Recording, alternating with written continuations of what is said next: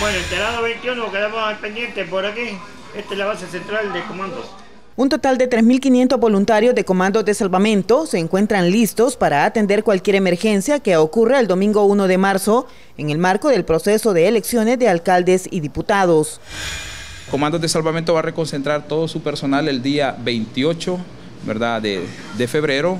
¿verdad? A partir de, de las 2 de la tarde vamos a tener nuestro personal reconcentrado acá y va a iniciar las labores a las 6 de la mañana del día domingo 1 de marzo Va a tener a la disposición 30 seccionales a nivel nacional. Los socorristas de la entidad humanitaria serán desplegados a nivel nacional y darán énfasis a centros de votación con alto número de votantes. Para eso vamos a contar nosotros con unidades, vamos a contar ahí.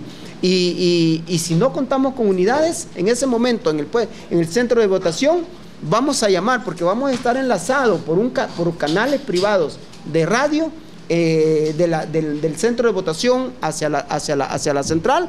También agradecieron al candidato del FMLN a la comuna capitalina Nayib Bukele por el donativo de 10 mil dólares que serán utilizados para la compra de combustible y otros gastos relacionados a las elecciones.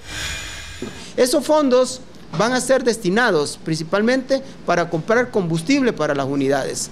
Van a ser designados además para comprar el medicamento de los botiquines que se llevan a, los centros de votación.